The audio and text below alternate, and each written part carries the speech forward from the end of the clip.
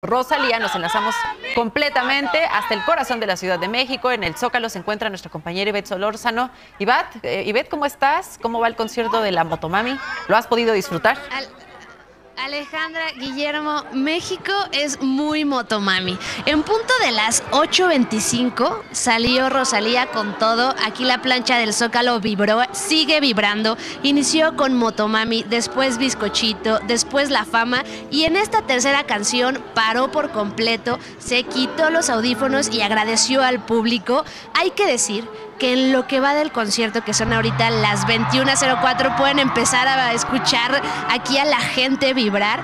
Ya bailó flamenco, ya trajo los ritmos muy de camarón, de ese catalán que pues evidentemente caracteriza a esta cantante. También ya se, ya se estuvo aquí coreando el, eh, pues Despecha, que es una de las canciones que hizo eh, a la gente vibrar con una ola. Hay que decir que salió con ocho bailarines, a diferencia de lo que salió en Coachella. En Coachella salió con 40 bailarines. Este show de Motomami con un, con un actuando espectacular, un rojo, rojo fogoso con negro, las botas que la caracterizan. Se dice, o lo que por lo menos han comentado aquí la gente de la organización, es que va a tocar entre 26 y 29 canciones en un repertorio que durará de hora y media aproximadamente, hora 45, depende también de cómo, cómo vaya, se vaya desarrollando. Hay que decir un detalle, la organización ha sido pues bastante eh, ordenada. Han estado dejando entrar eh, a las personas por tandas eh, por la calle Francisco y Madero y por la 20 de noviembre. también el audio ha sido un poco un problema para la gente. Para quienes están exactamente en la plancha del Zócalo, en el centro, estarán escuchando perfectamente, pero como saben, yo estoy en una de las terrazas aledañas aquí a, la plancha del Zócalo y el audio ha tenido alguno, algunas fallas, supongo, en lo que transcurre el concierto lo irán arreglando. Pero así ha sido hasta el momento la presentación de Rosalía hasta las 21.06 de este momento.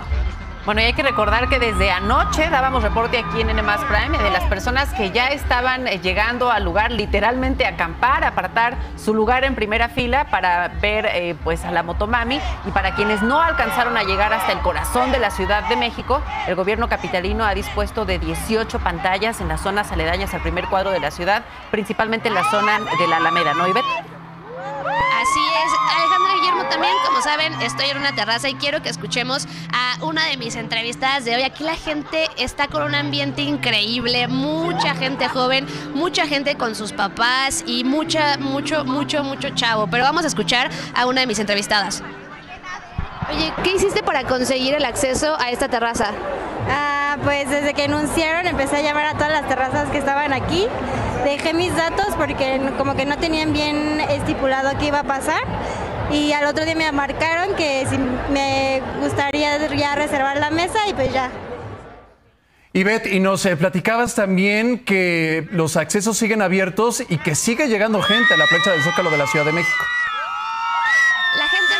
de llegar y creo que es parte de la organización eh, de este evento, que recordemos está a cargo de OCESA, de la empresa OCESA. Eh, la gente ha llegado de una forma muy ordenada porque el acceso ha sido acordonado solamente para que puedan entrar entre la 20 de noviembre en este momento y la de Francisco y Madero, pero claro, tienen que rodear absolutamente todo el zócalo para poder entrar por atrás, porque eso sí, no hay manera de acceder a lo que es ya la primera, el primer bloque o la primera fila, que es donde en este momento está tocando Rosalía. La organización ha sido muy buena, eso sí, tenemos que decirlo. Y la gente que está uniformada, ya sea de amarillo o de rojo, es quien está dando toda la información al respecto. Ya sabremos si se rompió el récord de 280 mil participantes. Bueno, justamente de esa cifra estaremos pendientes a lo largo de Nemas Prime y regresaremos contigo en algún momento si así la información lo amerita, pero vaya, insisto impresionante las imágenes en vivo que nos ofrece N Media de un zócalo repleto. Ahí las imágenes, impresionante el fenómeno Rosalía en este concierto multitudinario ahí en el corazón de la Ciudad de México, el corazón del país. Muchas gracias, Ivette.